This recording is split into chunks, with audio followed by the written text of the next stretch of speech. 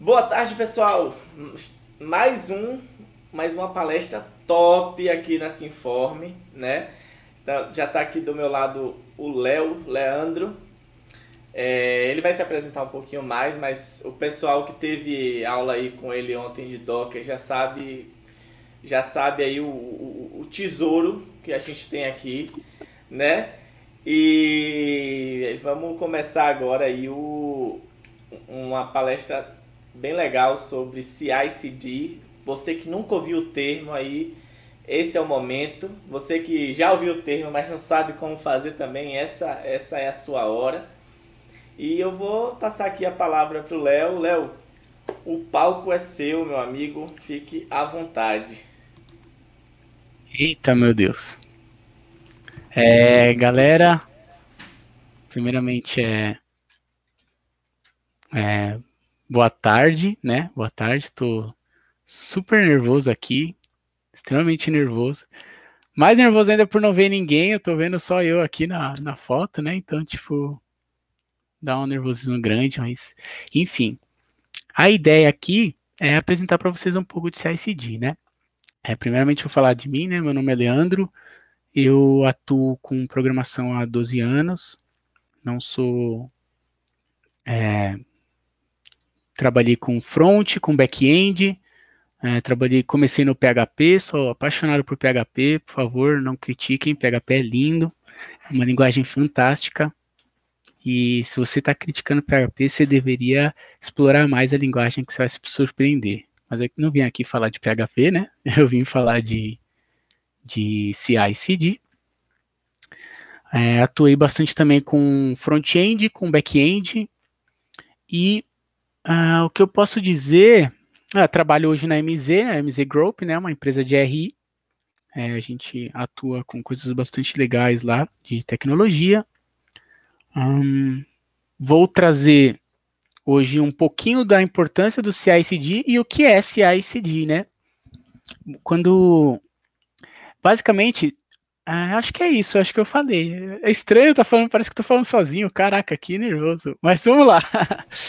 E aí eu vou ô, mostrar para vocês ô, um pouco do que eu apresentei. Pode falar. Eu vou, eu vou ficar aqui na, na tela, só para te dar um, um, apoio moral, mas vai que é oh, Muito obrigado. Isso é muito bom, vai me ajudar. Você viu, né? Eu fiquei nervoso, gente. Que emoção. É, vamos lá. É, ainda mais depois de um monte de gigantescos aí que vieram aí apresentar nesses dias, já tô super na expectativa. Bom, é, é, fiz esse, essa apresentaçãozinha aqui no Jamboard, né? Minha, minha filha tá fazendo todos os trabalhos dela no Jamboard e ela achou, falou, pai, faz a apresentação no Jamboard, pai, é o melhor que se tem. Eu falei, tá bom, filha, eu vou fazer. E aí eu fiz aí, né? Tô super feliz com isso. Vamos lá, gente. É... CICD. Oh, não é assim que a gente, que a gente compartilha ele como palestra, vai ser assim mesmo, vamos lá. CI/CD, né? Continuous Integration, Continuous Delivery e como aplicar, né? Esse é o foco de hoje, tá? Eu espero a proposta aqui que eu, que eu fiz, é, que, eu que eu quero trazer para vocês é a seguinte: é, o CI/CD ele é uma, normalmente o pessoal acaba achando que é é uma habilidade que você tem que desenvolver quando você é um DevOps. Eu, eu acho assim que você tem que desenvolver, tem que saber entregar um CI e um CD da sua aplicação, é, sendo front, sendo back-end e sendo ou sendo QA. QA também trabalha com automação, então acaba se envolvendo muito com CI e CD. É, quem trabalha com dados também faz, é, trabalha com o conceito de pipelines, né, o que, é, o que a gente vai ver aqui. Então, você como uma pessoa desenvolvedora, você acaba tendo acaba sendo um grande diferencial você você conhecer e saber implementar tá? Um CI e um CD porque isso faz, faz muita diferença na sua vida de pessoa desenvolvedora. É, um, um, momento uma coisa legal é quando você consegue entregar um, um bom código no seu repositório. Mas a, eu acredito que uma entrega de com um pouco mais de qualidade ela acaba envolvendo é você entregar a sua aplicação em produção de uma forma automatizada, né? É, quando você não tem uma CI/CD no seu, no seu projeto, é, isso você normalmente faz o deploy por você mesmo.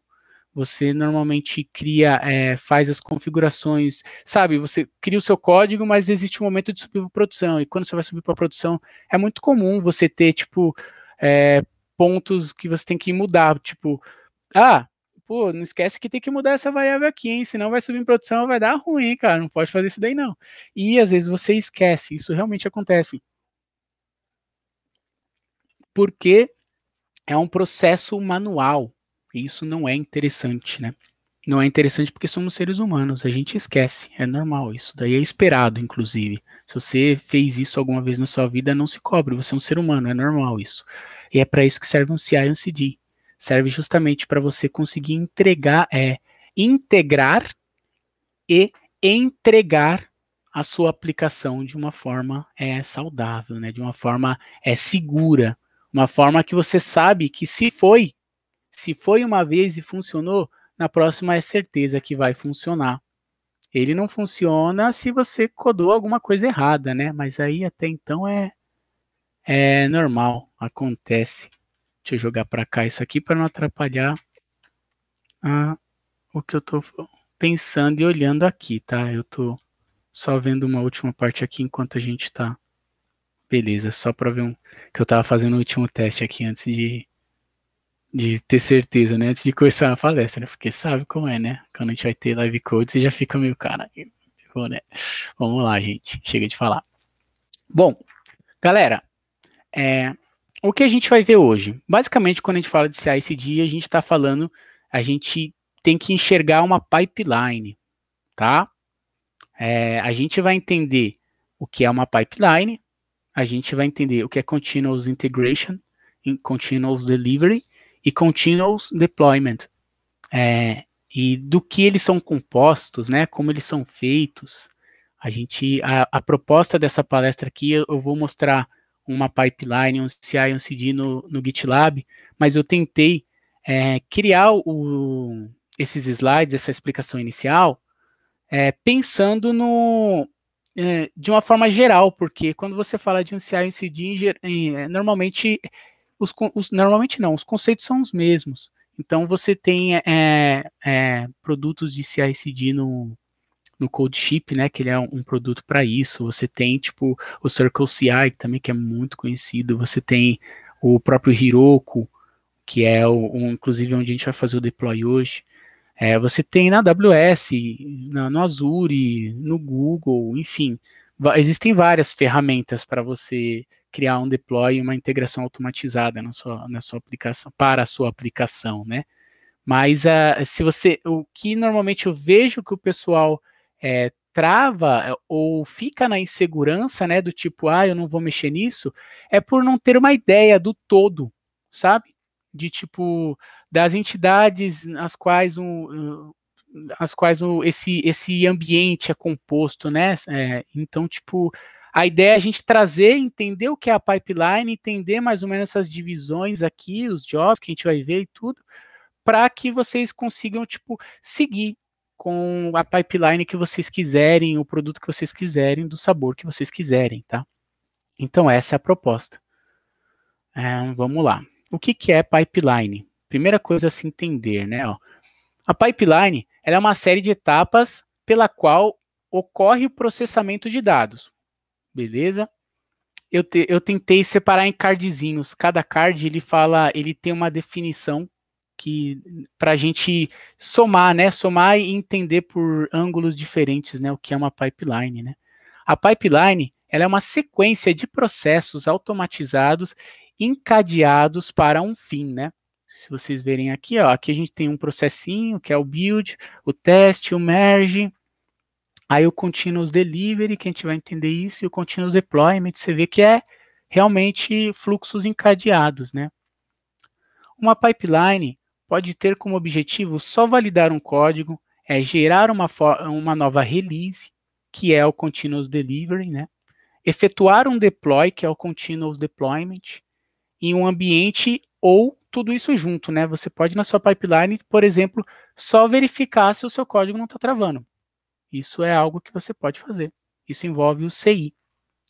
Uma pipeline é composta por processos classificados como CI, CD e o Continuous Deployment. CI, né? CD e o Continuous Deployment. Basicamente, isso é uma pipeline. Sempre que você estiver conversando sobre isso, falando sobre, sobre uma pipeline, você está falando sobre, tipo, ó, os processinhos que rodam um depois do outro e se todos rodarem certinho, você, é, o resultado disso vai ser a sua aplicação em produção de uma forma automatizada. Basicamente é isso. Aí, vamos lá. Beleza, vamos entender então cada um desses processos. O primeiro é o CI. CI é a sigla para Continuous Integration, ou integração contínua. Acho que vocês já devem ter ouvido os dois, né? Os dois significam a mesma coisa, inglês e português, basicamente é isso. É, o CI é a prática de mesclar, ou seja, fazer merge de todas as cópias dos trabalhos dos desenvolvedores em um em uma em uma não, né, em um repositório principal, compartilhado é, várias vezes ao dia. Ficou meio ruim quando eu falei, mas a ideia é essa, é você fazer um merge daquela daquele código que você criou só que fazer isso de uma forma automatizada. Poxa, mas, Leandro, eu faço merge tranquilo, só dar um git merge ali funciona. É verdade. Só que ah, você testa, você, você tem teste na sua aplicação, você tem, por exemplo, lint na sua, na sua aplicação para verificar se o seu está tudo no padrão, seus códigos, você usou as indentações corretas, usou os padrões corretos, enfim. É, você tem e você usa, mas nem sempre você usa, porque, sei lá, às vezes eu esqueço, pô, também tem um monte de coisa para fazer, eu estou resolvendo meu código aqui, olhando para outra coisa, atendendo a um cliente. É, é, é isso que o CI ele soma na nossa vida como pessoas desenvolvedoras. Ele a gente sabe que nós como desenvolvedores, desenvolvedoras, a gente a gente esquece, normal. E aí quando você tem um fluxo de CI, para fazer o merge do seu, da, do seu código, você ganha esse benefício, essa, essa qualidade, né, de garantir que todo o seu código sempre vai estar tá testado, sempre vai estar tá nos devidos padrões, né, e cada vez mais evoluindo. CI é a automação do processo de mudança feita em um projeto, ok, né? CI é automatizar os merges de um projeto com segurança para garantir que ele não quebre. Ó, isso é interessante, né? Acabei, é o que eu acabei de falar, né?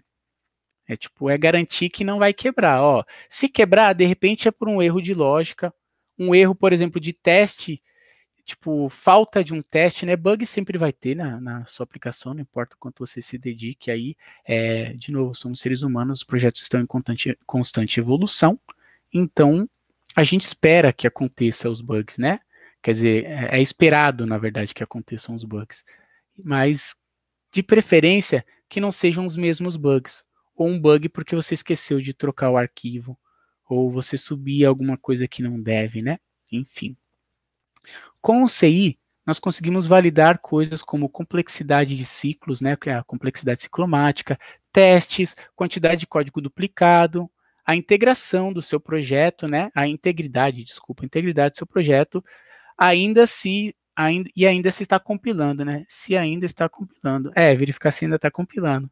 Às vezes fica difícil, mas enfim, tô nervoso. mas estou melhorando. É, CD, né? Beleza, entendemos a parte do CI. A pipeline é grande parte na verdade, a maior parte da pipeline ele roda em cima do CI. A ideia é o CI. Tipo, porque conforme você evolui, né, a, evolui a qualidade, primeira coisa que você vai fazer no seu projeto, você vai colocar, digamos, na primeira sprint, você vai colocar a integração contínua. Pô, mas o que, que eu vou colocar? Meu projeto não tem nada. Só faz rodar. Só faz rodar. Depois que está rodando, aí você começa a adicionar novas tarefas, coisas que sejam interessantes conforme a necessidade do seu projeto. Isso tudo vai acabar envolvendo mais o CI do que tudo, porque são tipos de validação que vão cada vez mais elevar a qualidade da sua entrega, né? Já o CD, o CD, ele é o Continuous, de, de, continuous Delivery, ou entrega contínua, tá? É, o que, que seria isso, né? Entrega contínua, né? É uma abordagem em que as equipes produzem softwares em ciclos curtos, garantindo que o código produzido esteja pronto para ser implantado.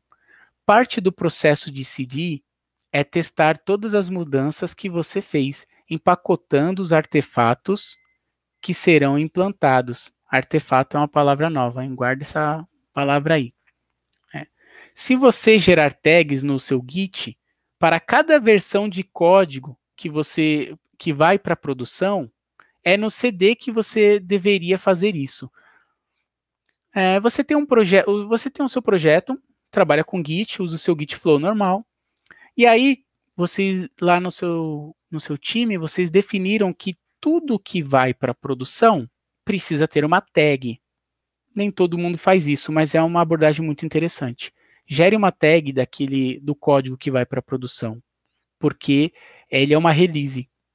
É interessante, como vocês, não sei se todo mundo sabe, mas uma tag é uma branch imutável. É, eu nunca tinha falado dessa forma, eu falava que uma tag não muda, mas esses dias eu vi alguém compartilhando num grupo, eu falei, nossa, é exatamente isso.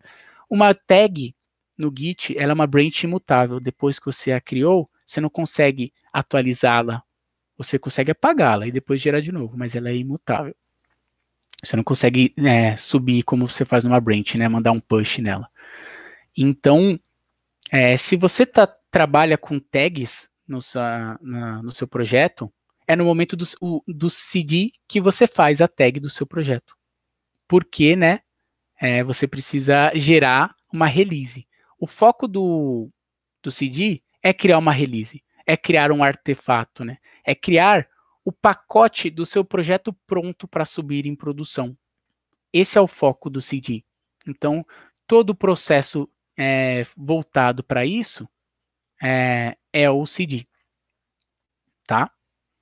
É, CD é um processo é um processo automatizado de empacotar a release, né, que seria a versão de uma aplicação. É, se o seu ambiente de produção roda, um contain roda num container, é no momento do CD que você gera uma nova imagem do container. É, vamos lá. É, o que, que seria é, o que seria um container? Você trabalha com Docker, né, no caso, e aí você, se você trabalha com Docker, usa Docker no seu ambiente de produção, sobe as coisas em container, é, normalmente você tem uma, uma imagem, né? E essa imagem, ela é comum que ela seja a latest, né? O que vai para a produção acaba sendo a latest. É, a, é interessante, às vezes, você criar, às vezes não. É interessante você versionar a sua imagem também. Então, digamos que você vai subir em produção. Você gera a versão da sua imagem e gera uma latest, por exemplo, uma abordagem, né? E aí você, isso garante que você tenha sempre uma imagem empacotada. Né, uma, uma, imagem pronta, quer dizer, se der algum ruim em produção, por exemplo, você volta para a versão anterior, porque você sempre vai ter as versões diferentes, né, as tags diferentes, que é o mesmo conceito do Git, né? Mas basicamente é isso que você faria no CD. É, se você trabalha com front-end, o seu, o seu CD, o seu artefato, né, no CD, ele é o dist. Sabe, você rodou um yarn o yarn build ali, ele gera um dist. Esse dist acaba sendo, é, se você trabalha né, com, com a SPA, no, no caso do exemplo que eu estou dando. Né? Você trabalha com SPA, o resultado do seu código ele é sempre um dist, porque você dá um yarn build, um npm run build, enfim, e ele gera aquele dist. Só aquele, aquela, aquele pacotinho é o que vai para a produção. Então, aquilo é o seu, digamos, o seu release. Beleza? Pode ser, isso pode ser considerado o, o, o artefato, de fato. E o continuous deployment. É, existe uma polêmica quando a gente fala de contínuo de CD e você fala de continuous delivery e continuous deployment. É, existem aquelas pessoas que defendem que é tudo a mesma coisa e existem aquelas pessoas que defendem que é cada um que, que são partes diferentes. Então eu quis deixar separado, porque eu acho que faz sentido também você deixar é, separado, tá? Mas assim, é, é, não vê ao mérito. Eu quis deixar isso separado porque achei, porque eu, eu acho que são momentos diferentes, tá? Uma coisa é você empacotar, outra coisa é você subir em produção. Se você tem isso separado, quando você empacota, você pode subir no ambiente que você quiser. E isso eu acho interessante. Se você deixa tudo junto, digamos que você vai ter que fazer o mesmo empacotamento e o deploy em outro ambiente, o mesmo empacotamento e deploy em outro, sabe? Você acaba duplicando muita coisa. Agora, quando você consegue criar um artefato de fato, você consegue subi-lo no ambiente que você quiser, tá? Então, Continuous Deployment frequentemente é considerado como parte do CD. É, foi por isso que eu coloquei isso aqui.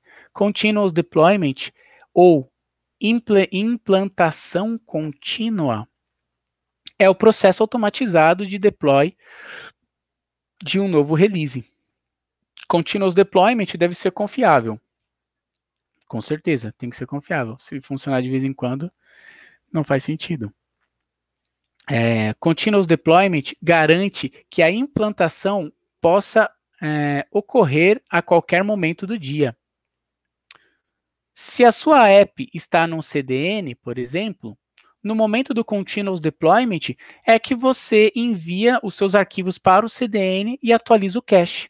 Né? Quem trabalha com CDN aí, quem trabalha com SPA, quem gosta de GenStack, por exemplo, é, isso é, esse é o deploy das pessoas que trabalham em geral com, com utilizando CDN, né?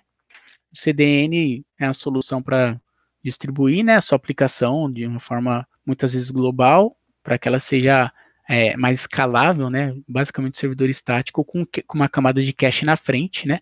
Replicado em diversos pontos geográficos para garantir que a sua aplicação esteja sempre de pé, entregando de forma rápida. É, então, quando você trabalha com CDN, você faz isso. Você você está no o seu continuous deployment passa a ser subir no bucket, seja lá onde for que você tenha no servidor estático, e mandar atualizar o cache.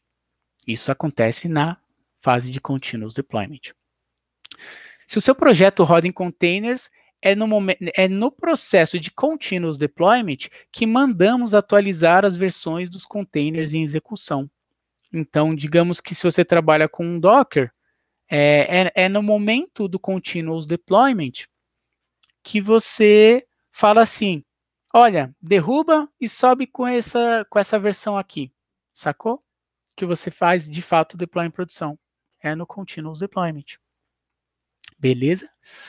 Bom, é, basicamente uma pipeline, desculpa, ela é composta, gente, por esses três momentos tá?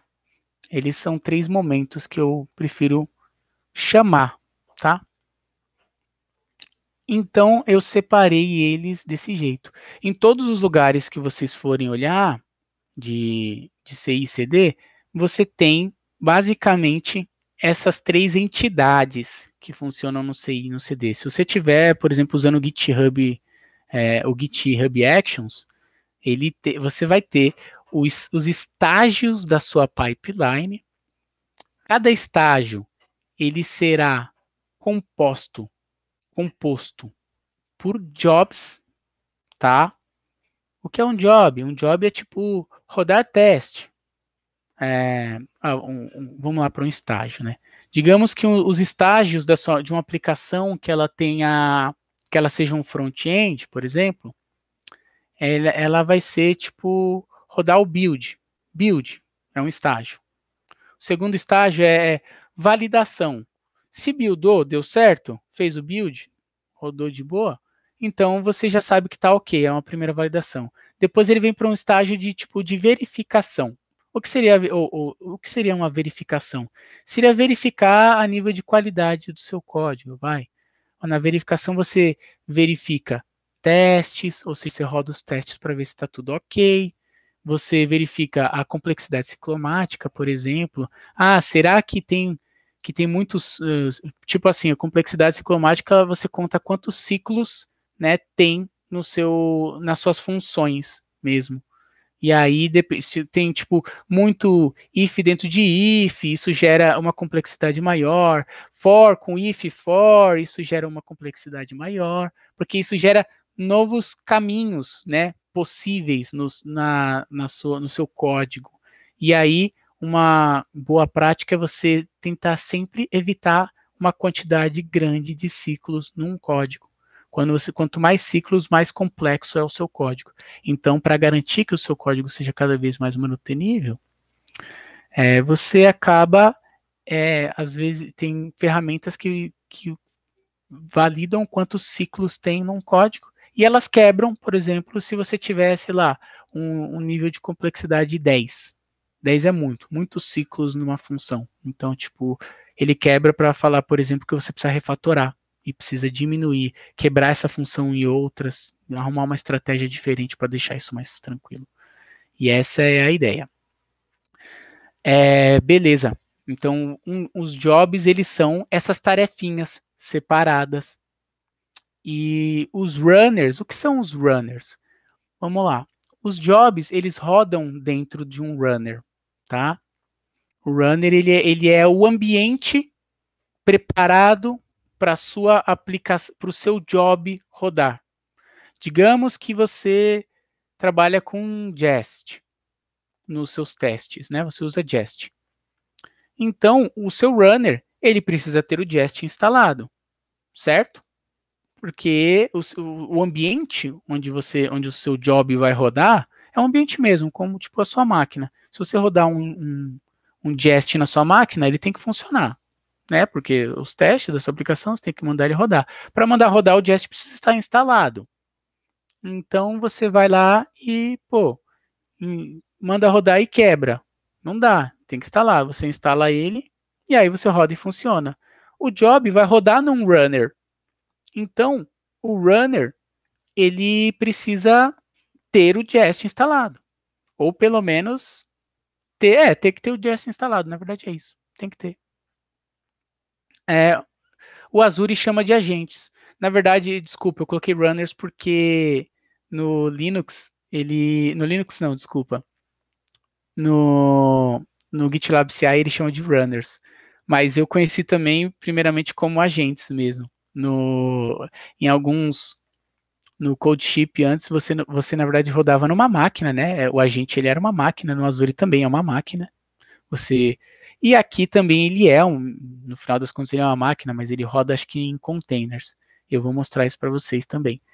E aí eu estou usando mais a nomenclatura do GitLab, mas é comumente conhecido como agente mesmo, agente de build que o pessoal fala, porque é, é, nesse, é nessa, nesse ambiente, nesse, nesse ambiente que o seu job será rodado. Muito bem observado, hein, Takato?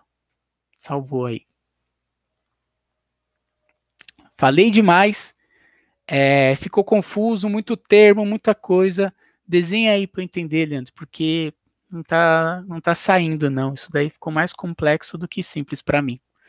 Beleza, vamos desenhar. Basicamente, uma pipeline, ela, como eu falei, ela é composta por estágios, né? E cada estágio ele tem jobs que rodam dentro de runners. Esse é basicamente o esquema de como funciona uma, uma pipeline, tá? Eu tenho o estágio de build, o, estado, o estágio de validação e um estágio de release aqui. Faltou um estágio, um estágio de deployment, né? Que eu esqueci agora que eu vi aqui. Ai, que feio, né? Tudo bem.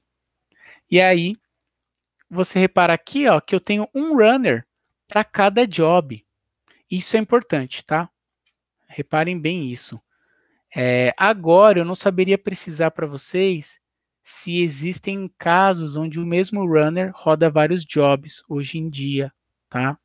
É, talvez tenha, talvez eles zerem todo o ambiente para rodar um novo job, que faz muito sentido, tá? É, é interessante que um job rode de uma forma isolada para garantir que não haja nenhum side effect, né? Digamos que você criou esse esse runner aqui rodou alguma coisa, alterou um diretório, mexeu algo que não deveria, aí quando mexe quando roda esse runner, esse runner não, esse job, digamos que se eles estão no mesmo runner, aí ele pode acontecer de um job ser atrapalhado por outro. Então, é, normalmente você não, não faz isso, tá? Às vezes é interessante, mas eu até vou mostrar um caso aqui para vocês. Mas, enfim, é isso aí.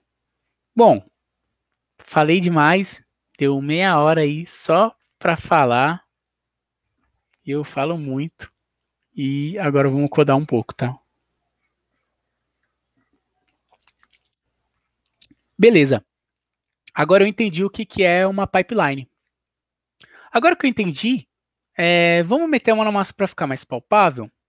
Primeira coisa que a gente precisa fazer é entender como funcionam as pipelines, é, quer dizer, é escolher qual é o meu produto, né? No meu caso, eu vou usar o, o GitLab, tá? E o GitLab, ele, e vou fazer um deploy no Heroku. É, opa, deixa eu trazer isso para cá para eu poder ficar olhando aqui, bonitinho. O Heroku, para quem não conhece, ele é uma plataforma é, de cloud, né, para você subir o seu de serviço de host, né, para você publicar a sua aplicação. Eu gosto dele porque ele é muito simples. Ele é parrudo, tem muitas aplicações no mercado que utilizam Heroku, tá? Muitas empresas grandes utilizam ele, então, tipo, é, vale a pena. E eu também gosto que ele tem um. Ele disponibiliza para a gente os dinos, né? O Heroku chama de dino. Os dinos gratuitos. Ele basicamente ele é um é um, um containerzinho que ele é gratuito, você pode subir e quando você ficar muito tempo sem bater nele, ele cai para garantir, para economizar, né? Faz sentido, é gratuito, não tem problema. Então eu quis fazer o deploy nele e, até, e também ele tem uma command line muito boa. Ele tem, a solução dele é muito boa, tá? Eu estava vendo um, o vídeo do de 12 Factors do Rodrigo Branas hoje e ele falou que o 12 Factor, não sei se todo mundo conhece, ele foi concebido pelo, por um dos criadores do Hiroko. Eu não sabia, achei isso muito legal para desenvolver uma aplicação PaaS, né? Para como, na verdade, eles enxergaram isso, né? E achei fantástico. Só toma cuidado em prod. É bom conferir, é, é bom conferir o plano, né? Isso é verdade, tá, cara? Bom, aí vamos lá, gente. Eu vou mostrar para vocês um pouquinho da nossa aplicação para a gente refletir, tá? Bom, quero fazer uma pipeline. Por onde eu devo começar? É, isso daqui é o. Deixa eu ver se eu fiz besteira. Fiz. Vou apagar aqui. Pronto. Resolvido como por onde eu começo, né, para fazer a minha aplicação, para fazer o meu pipeline? É, aí, você, acho que olhando para o Git, ai, seria interessante mostrar para vocês o a, a definição aqui no, no GitHub, né, gente? Só um segundinho. É, vou mostrar aqui para vocês a primeira coisa, que é o seguinte, ó. É, basicamente é aqui que eu consumo as informações do, do GitLab para entender um pouco da pipeline dele e muito no Google, tá? Então, o que a gente vai fazer, a pipeline do, do GitLab, assim como acho que a maioria das pipelines hoje, são todas feitas em YAML, tá? Olha só, aqui eu tenho, é, eu tenho essa pipelinezinha que é a que a gente vai fazer.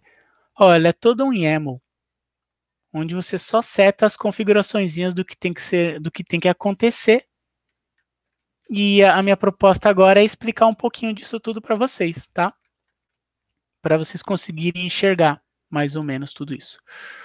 E aqui, essa paginazinha aqui que eu vou depois compartilhar, deixar compartilhado com vocês, ela dá referências de todos os, os nós, né, do, do YAML para você conseguir é, entender mais ou menos o que, que existe e o que aplicar. O que, que a gente vai ver aqui vão, vão ser comandos básicos para você conseguir sair daqui é, sabendo fazer a sua pipeline, tá?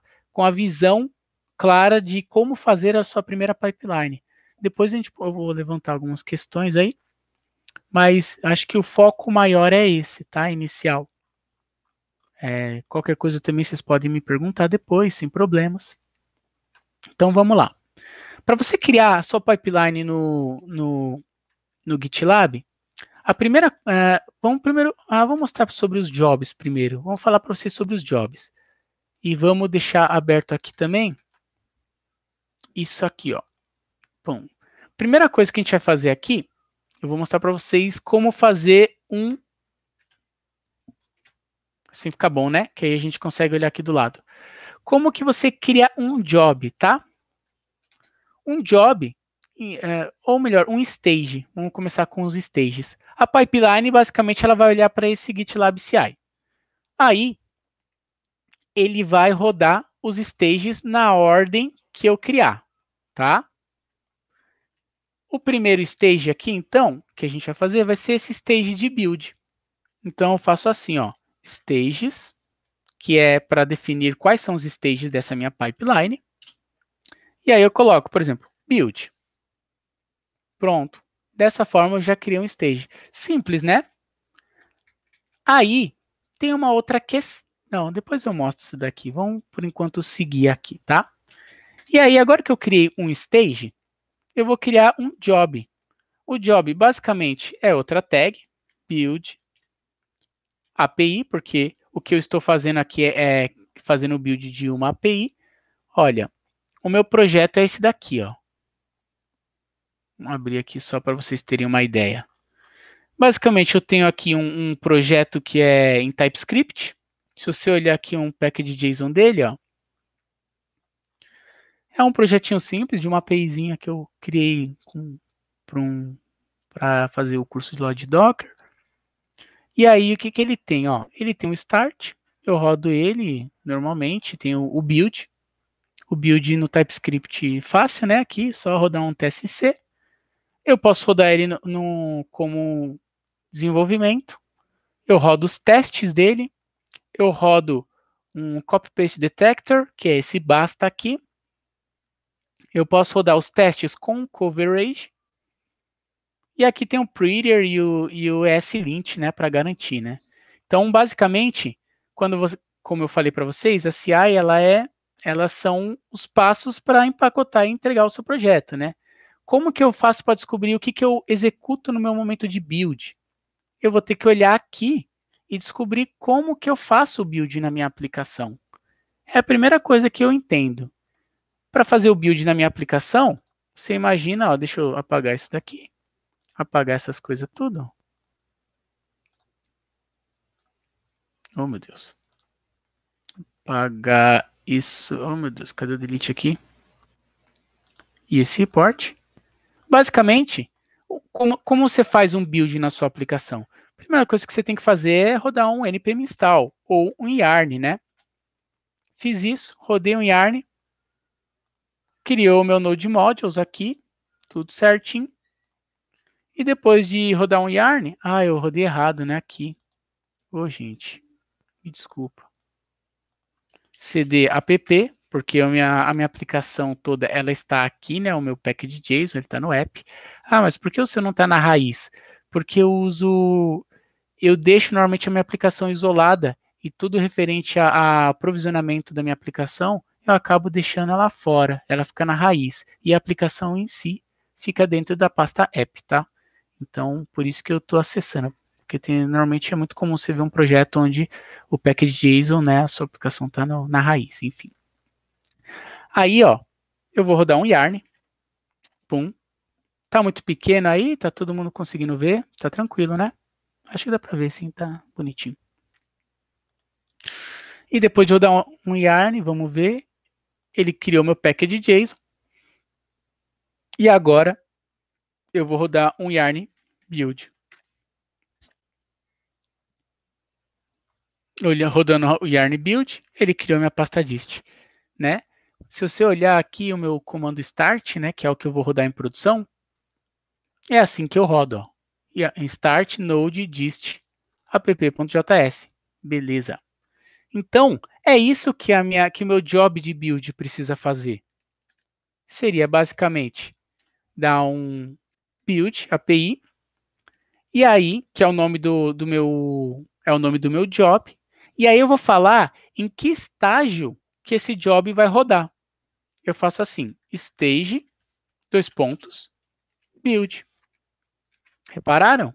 Esse é o nome do estágio.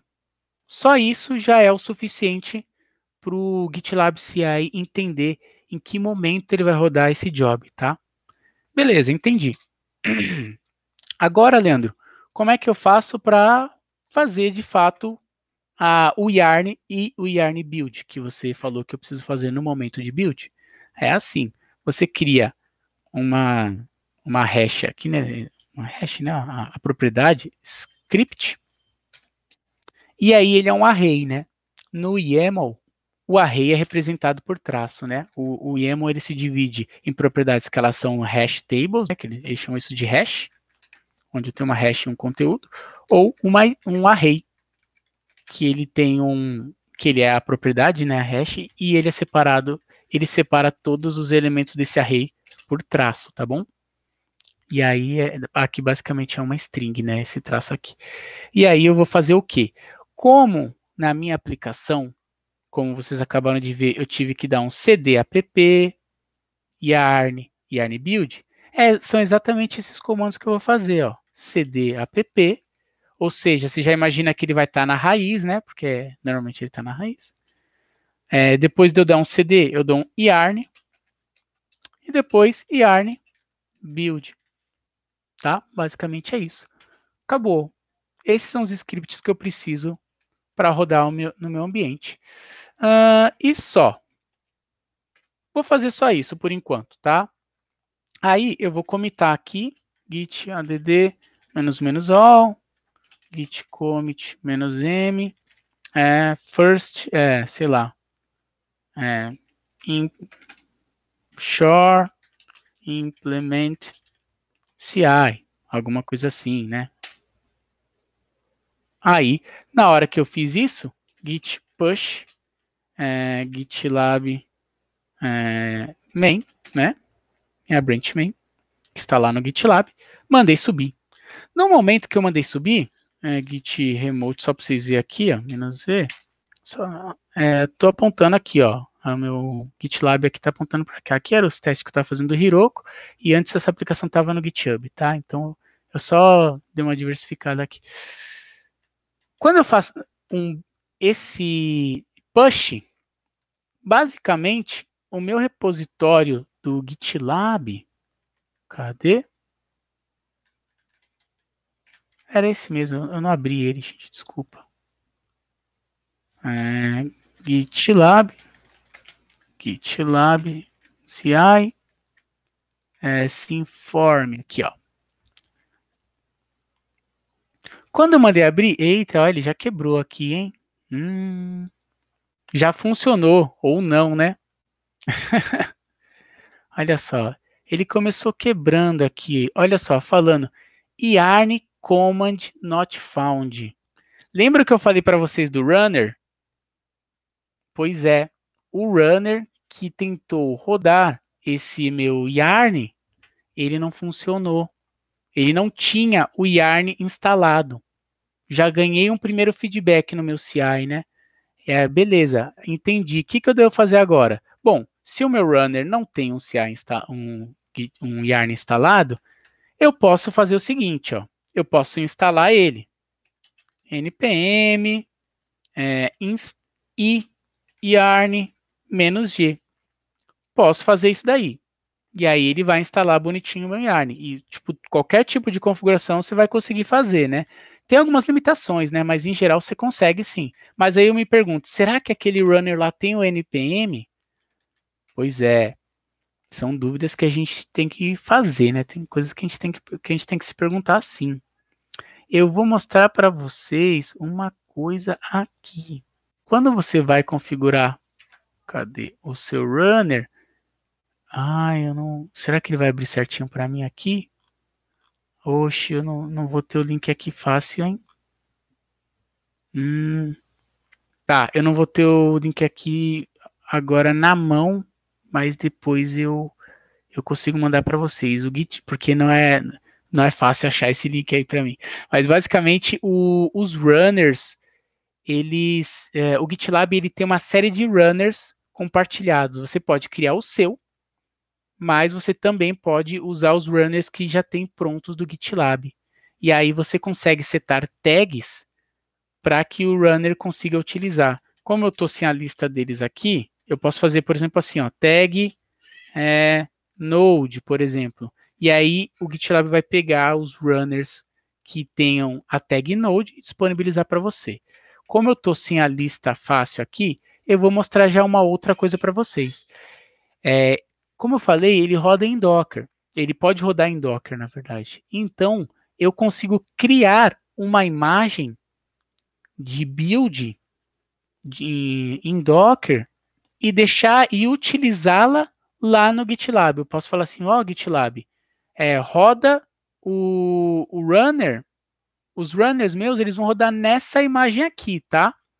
E aí, como eu faço isso? Ó, eu já tinha feito isso daqui.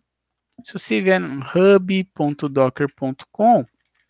eu criei esse essa imagem.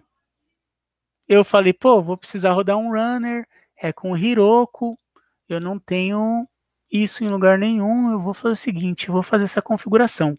Aí eu peguei uma imagem Node Slim e criei um, uma imagem, né, um, uma imagem, né, com que tenha o Docker instalado, né, o, o Docker em Docker, e que tenha o Hiroko CLI instalado, porque eu sei que eu vou precisar deles para fazer um deploy, para fazer o build e o deploy. Basicamente eu fiz isso. Então, como eles já estão aqui, ó, eu posso simplesmente fazer isso, ó, Ctrl C, jogo para cá isso daqui, venho aqui na minha imagem falo assim, ó, imagem, dois pontos, e o nome da minha imagem. Feito isso, o Hiroko vai falar assim: opa, ele está querendo usar essa imagem aqui. Ah, tem uma outra coisa que eu preciso fazer, né? Que apanhando para fazer esse, essa pipeline, eu aprendi um, que existe, dependendo do, do. Bom, isso é uma imagem, né? E ela vai rodar em cima de um runner. O runner sobe a imagem e aí depois ele pega o seu código, joga nessa imagem e manda o, o seu job rodar, sacou? Runner sobe uma imagem Docker. Com essa imagem Docker, ele joga o seu código nela e depois ele manda o seu job rodar. É mais é basicamente assim que funciona. Só que o runner, dentre aqueles runners que o GitLab tem, eu preciso especificar qual que é o runner que, que, eu, que precisa rodar essa minha imagem. Aí eu vou lá e, e seleciono esse aqui, que eu sei que esse daqui vai funcionar. Tem outros, a gente pode pesquisar outros, mas é, esse daqui já é o, o que todo mundo conhece. Fazendo assim você sabe que vai funcionar. Falei demais. Será que vai funcionar? Vamos descobrir. git add menos menos all, pum, git commit menos m. Aí eu coloco fix ci set image runner. Pronto. Git push. Vamos ver se ele vai subir bonitinho agora, né? Pode ser que não suba. Espero que suba. Nossa, agora que eu vi, gente, tem um monte de comentário aqui. Eu nem sabia que dava para ver os comentários. Desculpa se vocês perguntaram alguma coisa. Que vergonha. Você vê que o cara tem Poxa vida, o cara conhece muito da plataforma, né? Ai, que ô, vergonha. Ô, Oi. Léo, pode é, Você pode tocar o pau aí, as perguntas eu tô filtrando aqui, se dando um tempinho Ai, lá, no final a gente a gente a gente é, abre, então. Beleza? Fechado. É, sim, o Iago, eu uso o Semantic Commit, sim. é importante, cara, eu acho que faz diferença. Organiza. Dá muito mais informação. Bom, eu subi, né, gente? Agora, vamos olhar, ó, aqui é a pipeline antiga, eu vou clicar aqui no meu projeto. Olha só, ele já está azulzinho, significa que ele está rodando. Se eu clico aqui, ele já me mostra, ó. Esse é o, o job do estágio build. O job é o build API, que nem vocês já tinham visto. Eu vou clicar aqui, ó, e eu consigo ver os logs do meu job rodando, do meu, é, do meu job rodando, ó. Ele vai, pega, faz as configurações dele do GitLab mesmo, tal. Aí aqui, ó, using executor, que é essa minha imagem de Docker, ó.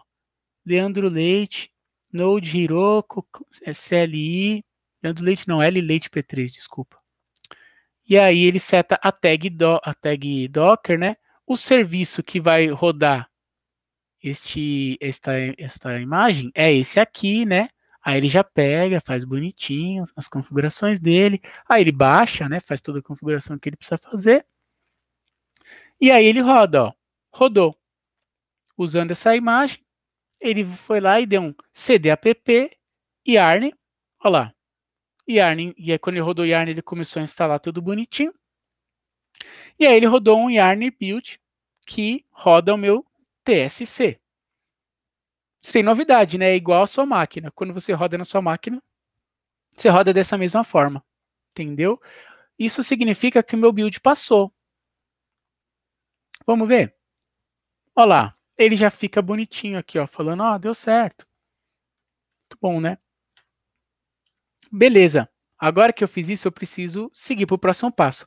Qual que é o próximo passo aqui do nosso da nossa pipeline? Já fizemos o build, Agora a gente precisa fazer o validation. Basicamente é isso. É... Eu vou rodar, eu vou criar esses três jobs de uma vez, tá? Porque vocês viram que ele acaba demorando um pouco, então vai tomar um tempo. Então eu vou, vou fazer o seguinte, eu vou criar os três jobs de uma vez, tá? Primeira coisa que eu vou fazer. Ah, não, eu vou fazer primeiro um só, vou rodar ele e se der certo, Aí eu coloco os outros três, tá bom? Que assim acho que vai ficar mais interessante para a gente. Primeiro vou criar um novo estágio, primeira coisa que a gente faz, né? Esse estágio, como eu chamei aqui, vai ser o validation, validation, beleza? E eu vou criar o job dele. Vamos lá, isso daí a gente aprendeu, né? Então vou criar, vou rodar primeiro o teste de unidade. Como é que é o teste? É basicamente yarn test. Yarn test. Será que vai funcionar? Eu só tenho um teste aqui, tá? É um teste bobo aí. Ele, basicamente, eu estou verificando se o, o random ID desse, deste, desta helperzinho aqui, se ele vai me retornar um ID e não nulo, tá? É uma coisa só para fins didáticos mesmo. Não é um teste que diga alguma coisa, mas é só para ver o teste rodando, tá? Então, olha só, quando eu rodei o yarn aqui, should work, funcionou, deu certo, meu teste está funcionando.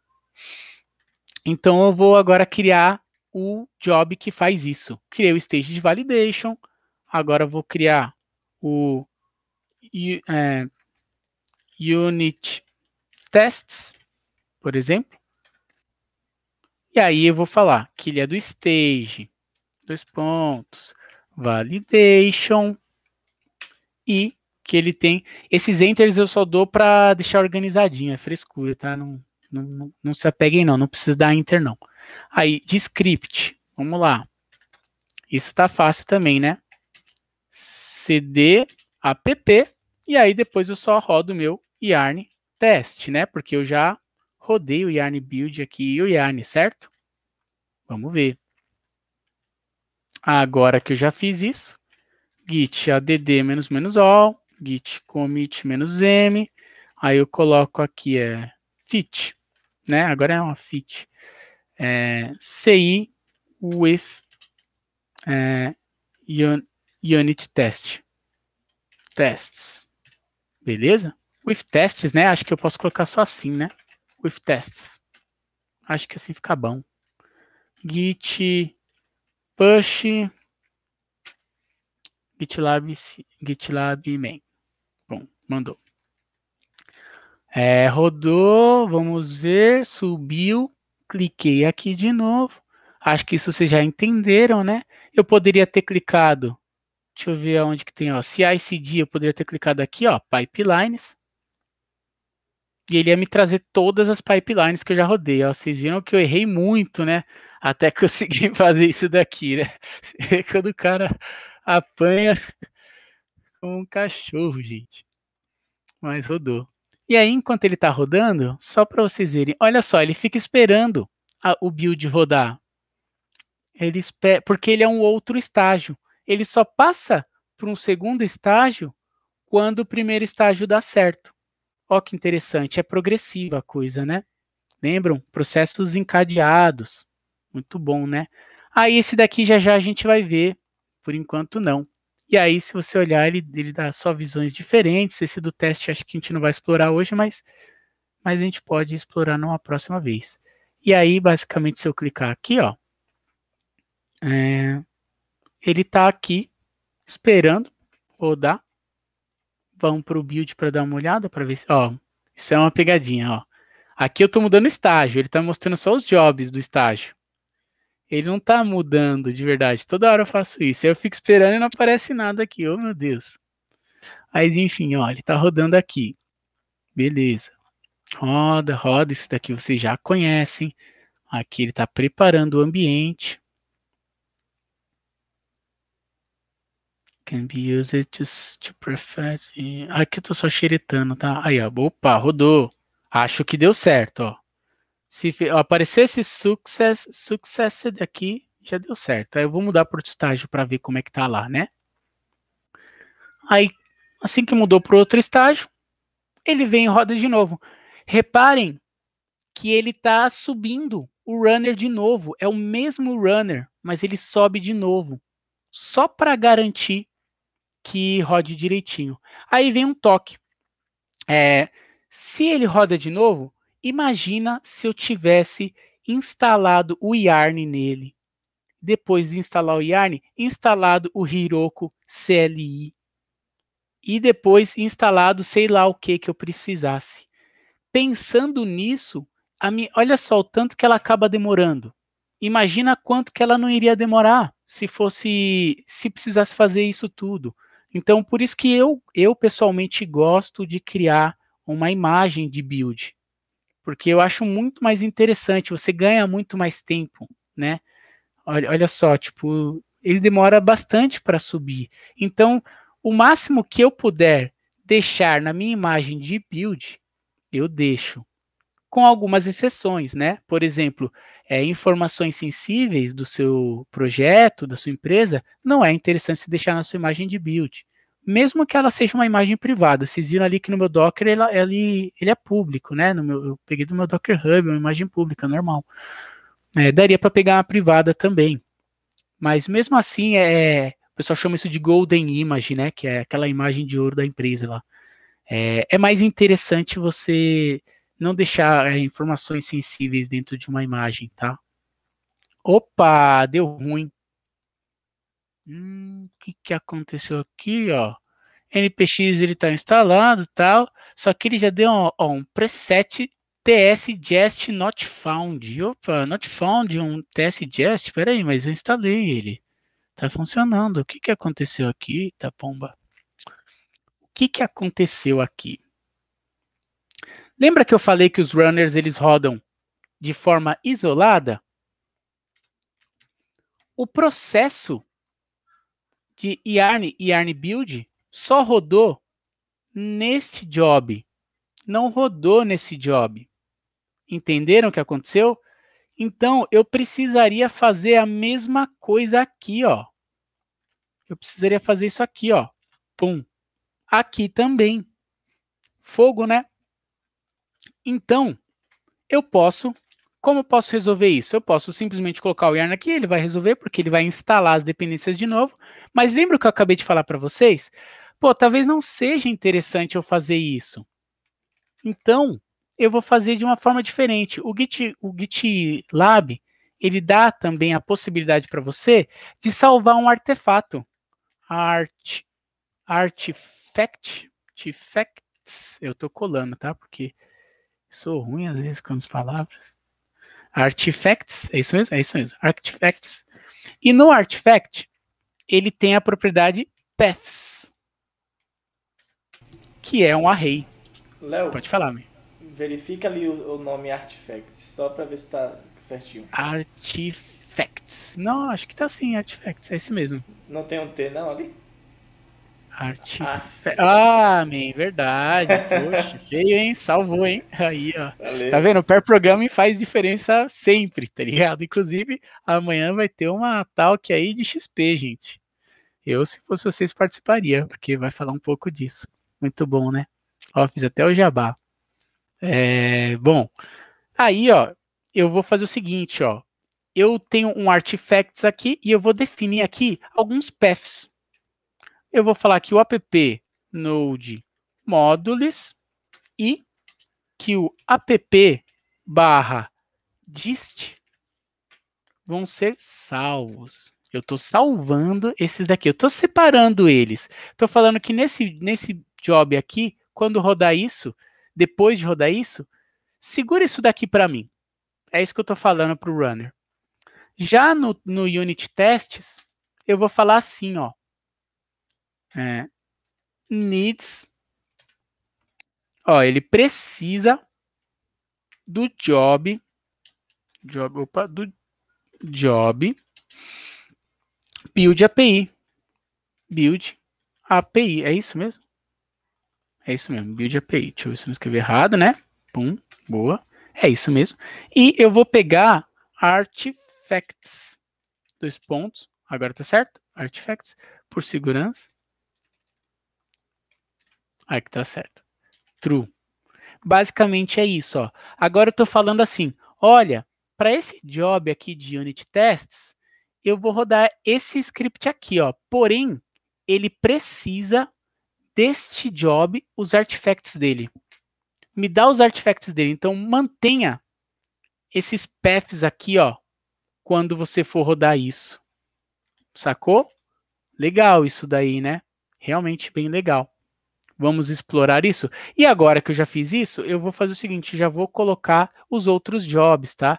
E aí, como para a gente ganhar um pouco de tempo, eu, é, a ideia era explicar toda essa estrutura. Agora vocês vão ver que os outros jobs eles são iguais. Olha só. Eu tenho aqui o unit tests, né, que é o nosso que a gente acabou de fazer, e tenho também, ó, o copy paste detector, que ele também está no estágio de validation, ó, igual esse, ó. igual o linter, que ele também está no, no, no estado de validation. Eu poderia chamar isso de code style, né?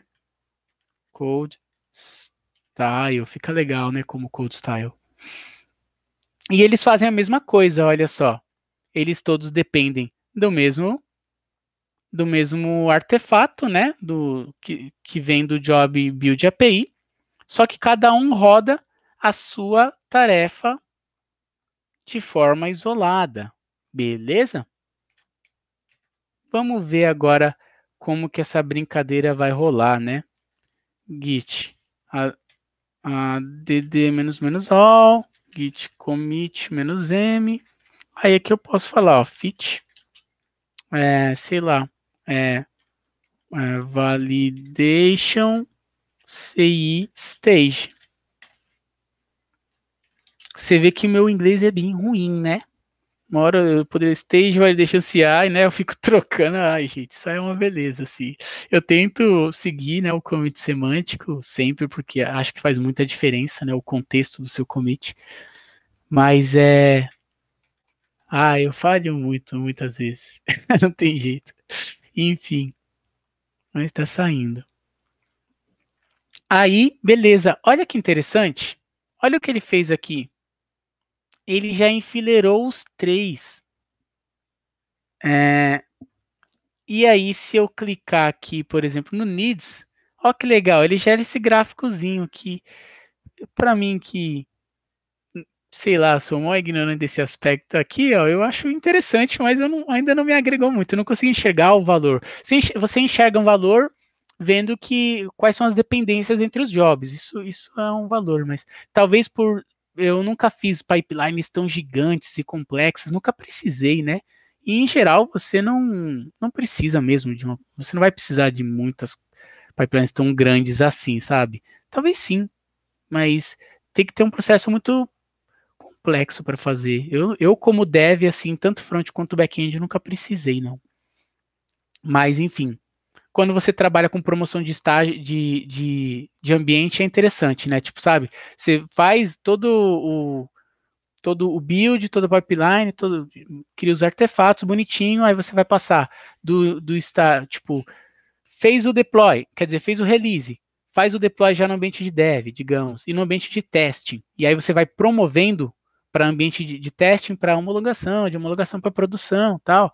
Aí você começa a ganhar um pouco mais de estágios, né? Uma complexidade um pouco maior, dependendo de como é a sua estratégia de, de deploy, né? Quando você trabalha, por exemplo, com Blue Green, aí você, dependendo de como faz, você sobe de uma forma, tipo, você tem uma complexidade um pouco maior. Mas enfim, isso é outra pegada, né? Olha lá, ele passou aqui. Opa, ainda não rodou aqui. Por que não rodou? Será que eu dei um refresh bem na hora que ele estava terminando? Foi, hein? Tô bom, hein? E aí, beleza. Agora ele vai rodar esses estágios aqui, ó. O Code Style, o Copy Paste Detector e o Unit Tests. Repararam que eles começaram juntos? Eles rodam de forma integrada, de forma paralela, né? Eles rodam em paralelo. Isso é algo interessante também né? Porque você começa a ganhar é, tempo. Você começa a ganhar tempo, basicamente é isso. Se, setup CI de validação. É. Às vezes a gente lança uma dessa, né? Setup CI de validação. Get nome, né? Quem nunca? e aqui ele está rodando. Enquanto ele está rodando esses, esses estágios aqui, vamos tentar ganhar um tempo aqui. Agora, é, esse estágio aqui é um pouco mais interessante, porque aqui eu já estou falando de. Basicamente, eu terminei meu CI. Vamos passar agora para o release, que é o Continuous Delivery. Como eu tinha falado antes, o Continuous Delivery ele acaba sendo o processo de empacotamento, né, de entrega de release, onde você entrega release. Aqui eu criei no Hiroko, quando você acessa o Hiroko aqui, olha só, gente, vamos ver se eu, eu fechei o Hiroko. Hiroko. Não, gente. Oh, meu Deus. Hiroko, acho que esse aqui que eu quero, ó. Vamos ver. Eu criei essa aplicaçãozinha, olha só.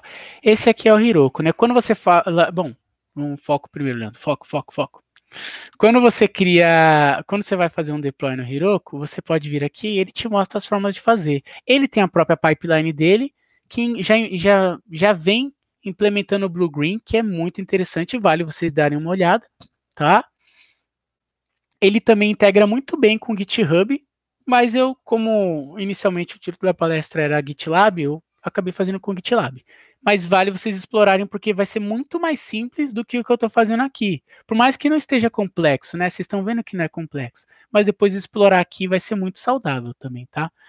E eu estou usando o deploy nesse estilo aqui, ó, onde eu, eu, eu jogo, eu crio uma imagem e salvo essa imagem no registry container do, do Hiroko. E aí depois eu só promovo essa imagem para produção, onde eu falo assim, olha, sobe essa imagem aí. Basicamente é isso que eu faço. Então, olha só. Basicamente eu faço um login, depois eu dou um, um push para eu salvar essa imagem. Depois eu rodo um container release para efetivar o deploy, para que esse deploy aconteça, tá? Então, se vocês é, aqui, ó, aqui provavelmente ele já foi tudo. Se eu olhar aqui, ó, eu vou criar o job da imagem. Eu vou primeiro criar o stage, né? Que seria o release. E também já vou criar o stage de deploy, tá? Esse daqui é o nosso CD, Continuous Delivery e Continuous Deployment. Beleza? Vamos começar. A primeira coisa que eu vou fazer vai ser o tag image. Opa! Tag image onde eu vou criar. Eu vou utilizar, ó que interessante, isso é informação interessante. É, a sua aplicação, a minha aplicação no caso, ela utiliza variáveis de ambiente.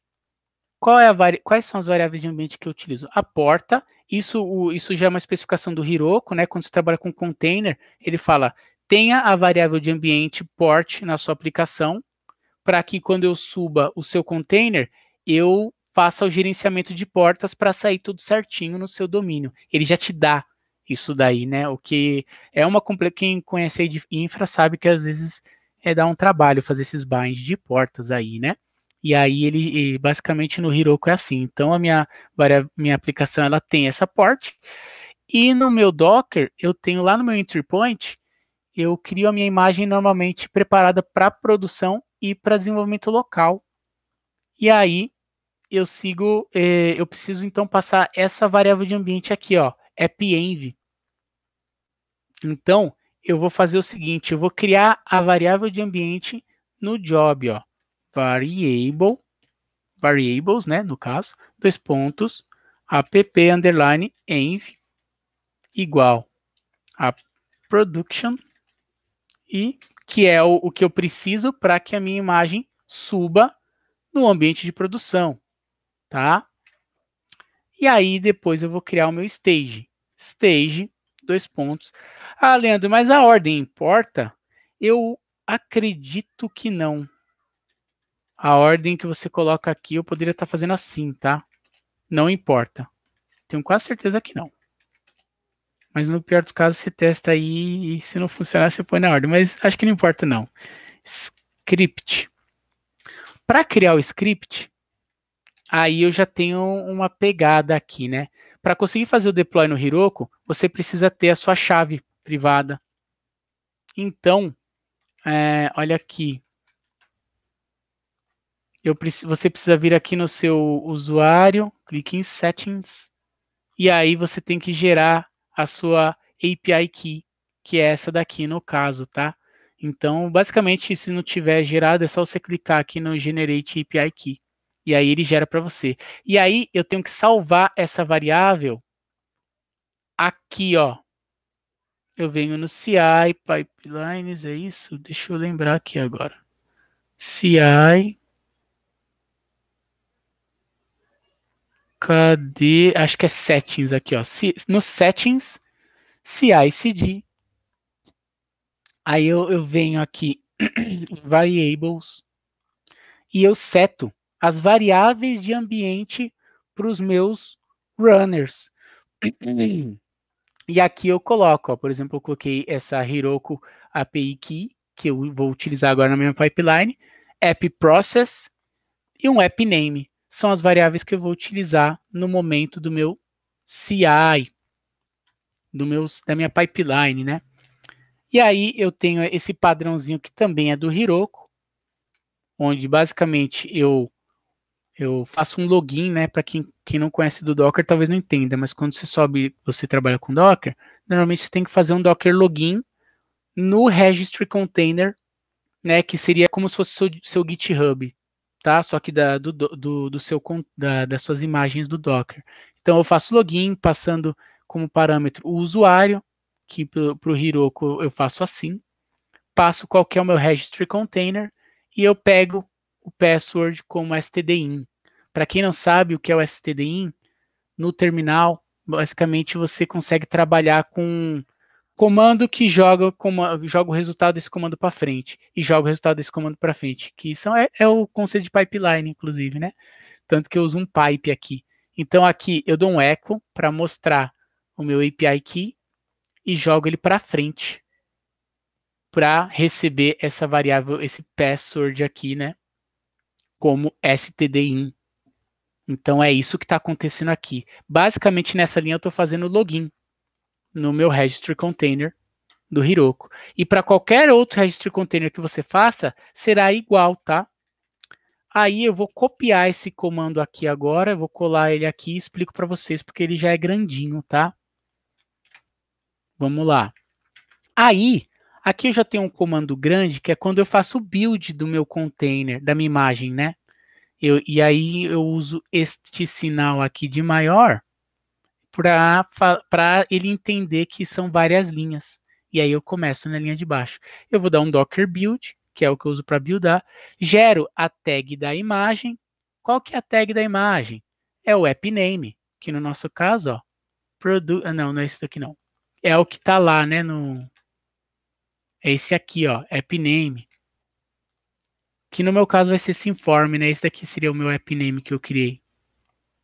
Uh, aí eu gero a tag, como se fosse um, um, git, um git tag mesmo, sabe? Que você roda no GitHub. E é, esse é o padrãozinho que eu coloco. Mas, Leandro, eu vou lembrar disso daí para todos os lugares. Quando você vai trabalhar com um CD, com um deploy contínuo, normalmente o, o vendor que você for utilizar, né, tipo, seja Google, seja, eles dão a, os passos que você precisa fazer para criar, né, um deploy automatizado.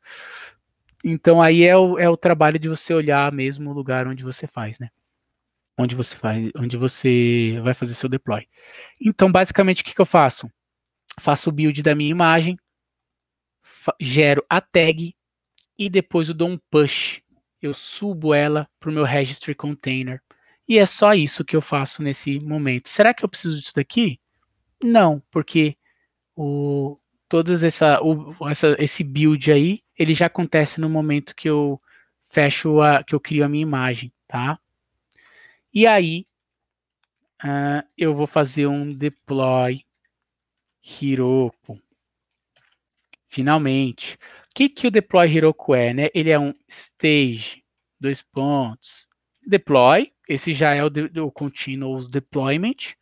E olha só que simples, script, dois pontos, enter. Aqui eu preciso de novo fazer, eu acho que eu não preciso, na verdade, fazer um login. Acho que aqui eu estou colocando um passo a mais, mas eu vou colocar por segurança, porque vocês já viram que demora, né? E eu sei que assim vai funcionar.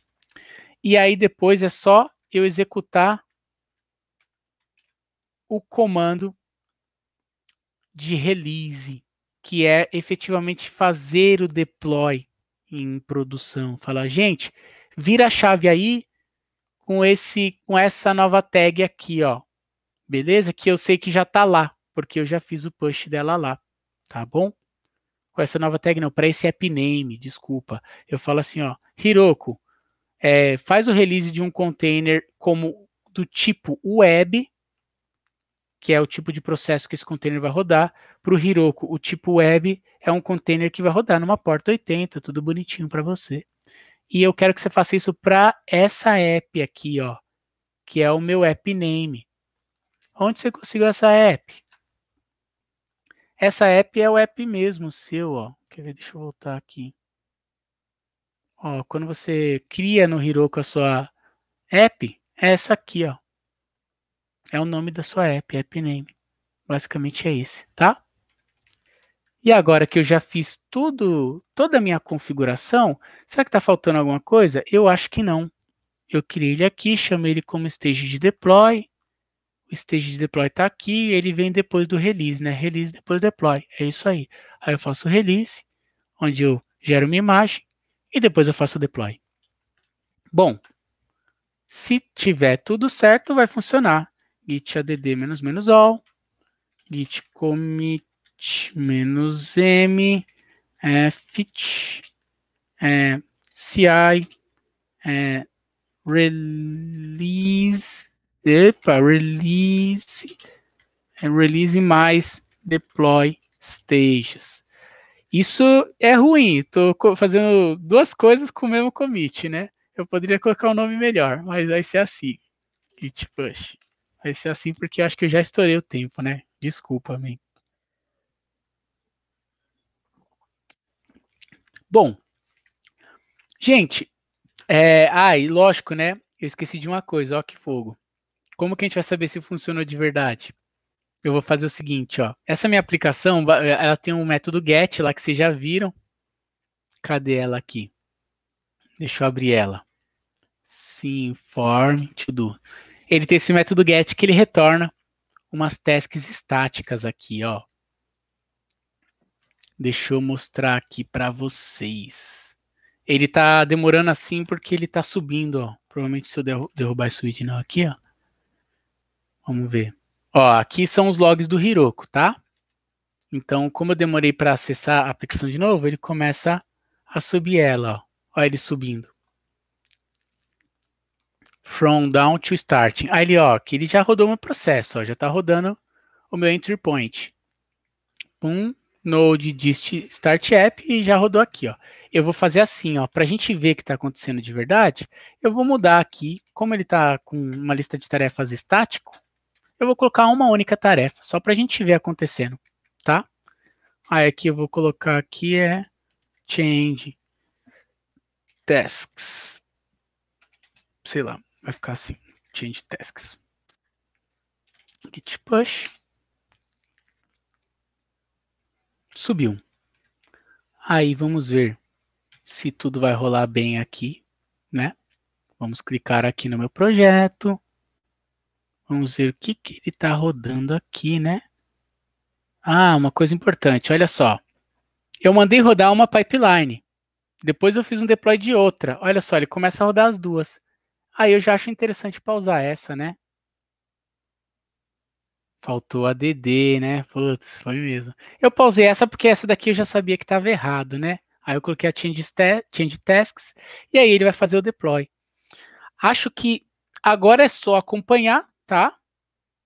É, basicamente, é, é, é, esse é o fluxo de criação de uma pipeline. É assim que eu crio uma pipeline.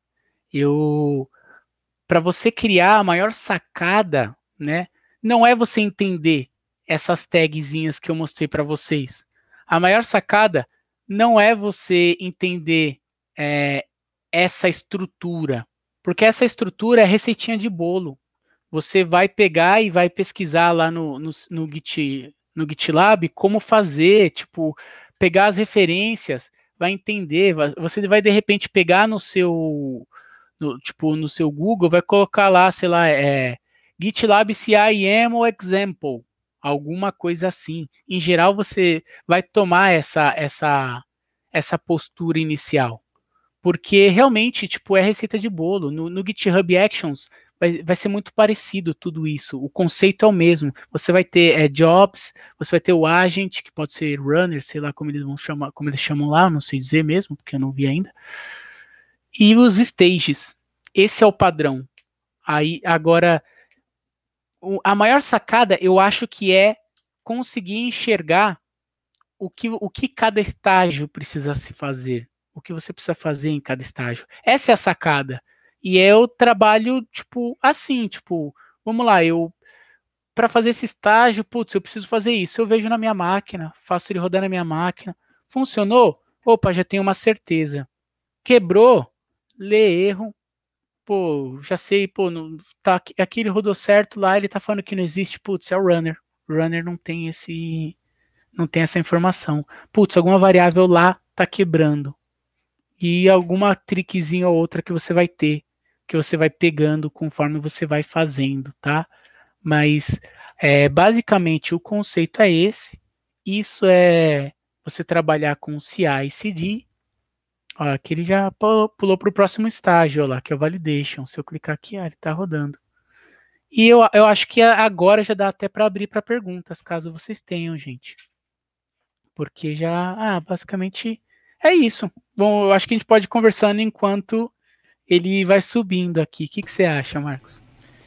É, eu acho que foi muito bom. Na verdade, você, você não deu um curso e uma palestra, você deu dois cursos aí, né? Eita. Aqui no evento. Não, eu achei que é, é, muito bom, muito esclarecedor, né? O passo a passo foi bem detalhado aqui. Eu tava é, é, é vendo, tava vendo os comentários, tanto dentro do, do YouTube quanto fora, né? Os comentários paralelos. E assim, foi, tá, tá, é, foi uma explicação muito boa. É, o pessoal com certeza entendeu, assim, quem não entendeu muito, é porque talvez seja ainda no início, é muito, né, muito iniciante ali, mas esse vídeo vai ficar salvo no nosso canal, então vai dar uma estudada, pesquisa o que está faltando e depois volta aqui, com certeza você vai ver que, que foi bem mastigado, foi bem, né? O, a, tenho certeza que quem ficou aqui até essas 25 minutinhos a mais é, teve muito ganho, teve muito, conseguiu ter uma boa, uma boa, um bom conteúdo aí. Pô, que bom, fico feliz. É, realmente, é, existem algum, alguns pontos ali que, que nem quando você fala de Docker, quando você fala de Shell, né, do, do, do login ali, o, o stdin, são coisas que elas são é, ah, são tecnologias que você precisa é, aprender. Você não vai conseguir fugir muito, né? São, são coisas do dia a dia. Mas depois que você pegou, já era. Tipo, é, não muda. O conceito é o mesmo e, e, e ah, é, é, isso mesmo, né? No final do dia, é, você está transcendendo só o código. Quando uhum. você está trabalhando e só comitando, não, não, é que, não tô fazendo pouco, tá? É, comitar é, poxa, em geral, quando você trabalha, você o, o foco maior é você subir, em, subir em, em, no, na master, né, na main. Se você conseguiu fazer um merge do seu trabalho para main, significa que deu certo. Só que quando você começa a ter a fazer o CI/CD da sua aplicação, você começa a elevar até o seu nível de codificação. Por exemplo, quantas vezes você se preocupa com a variável de ambiente para valer? É muito comum você estar tá num lugar onde você não sabe quais são as variáveis de ambiente. E aí, tipo, você fala, ah, quais são as variáveis de ambiente que tem no seu projeto? Ah, sei lá. E aí, às vezes, coisas que deveriam ser, você não enxerga. Então, quando você começa a trabalhar desde containerização mesmo, começa a criar as, as, imagens da sua solução e também efetivar um deploy, isso te dá uma. A, a, isso expande muito a sua, a sua capacidade de visão de um projeto eleva bastante assim a, a, sua, a sua análise mesmo, sabe? E faz você repensar muitas coisas que você codifica. Isso vale para um pouquinho disso tudo. O Code Style, que é fundamental também. Copy Paste Detector, que é fundamental também. É, a Unit Test. Opa. Inclusive tem uma pergunta justamente. É, foi uma pergunta que eu achei interessante, não deixar passar batido, né? Uma dúvida do Hariel, que é se você tem alguma indicação de ferramenta para visualizar os ciclos de uma função e Copy Paste Detector. Ah, o Copy Paste Detector que eu, eu normalmente uso o JSCPD, tá? Para JavaScript. É porque ele é ah, acho que ele é o que eu conhecia, na verdade, que eu usava. Só que como essa aplicação é em TypeScript, eu fui pesquisar uma ferramenta que faça igual para TypeScript, né? E aí eu achei esse pasta, que ele é, ele faz, ele faz um pouquinho mais, ele, ele na verdade ele faz é copies detector para basta git, git, basta, vai parecer que eu tô procurando alguma coisa é. ruim, né? Ah, mas esse aqui mesmo, ah, não é esse aqui não. Ah, esse, não, não é esse aqui não. Ixi, não é esse não, tá vendo? Eu vou procurar o link dele e vou deixar ele disponível aqui, ó. Basta copy paste detector. Então, quanto ao de complexidade ciclomática, eu ainda não achei. Ah, inclusive, aceito recomendações. Eu usava muito no PHP. O PHP ele, ele tem ferramentas aí de análise de código que são muito bem estruturadas e já há bastante tempo. Então eu acabei eu, eu uso como referência porque para mim é significativo quando você fala de codificação. Pô, você saber quantos ciclos tem o seu código, tipo, é, clareia muito a forma que você enxerga. Você fala, poxa, eu estou fazendo soluções muito complexas. E você começa a perceber que dá sim para você deixar mais simples, sabe? Mesmo uhum. que seja é, colocar só numa. separar em funções. Isso é fundamental, é muito importante. Ajuda você a conseguir na manutenção e o melhor, ajuda os outros a entenderem o seu código, que é uma coisa muito saudável, né? E aí esse é o basta, ó, agora achei.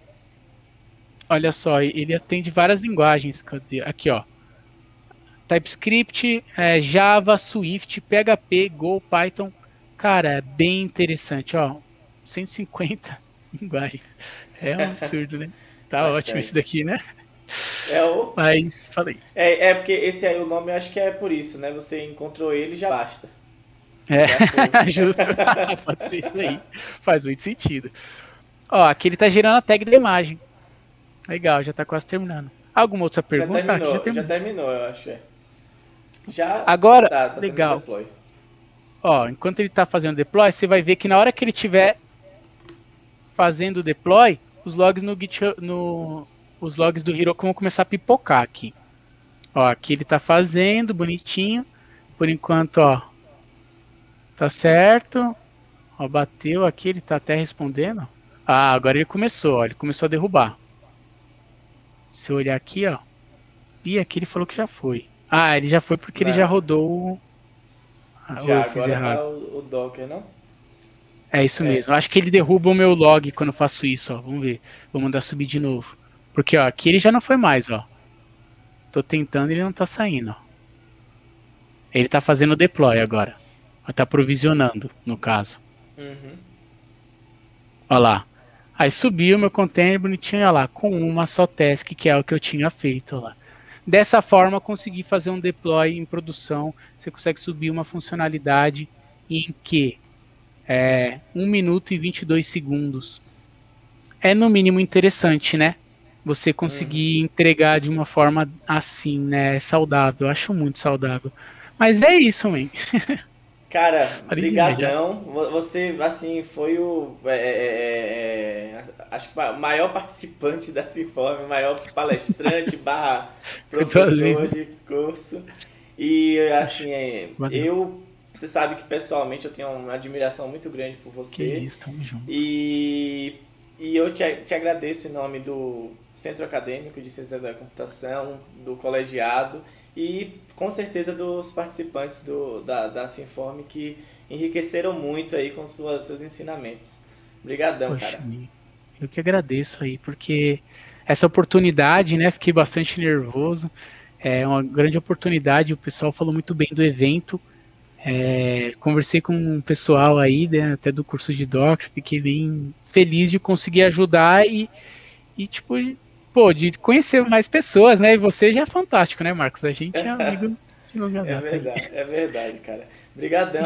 Gente, Opa. valeu. Vamos ficar por aqui por hoje. Amanhã temos valeu. mais três atrações maravilhosas, né? Me, me corrija se eu estiver errado. É o, é o Lincoln, né?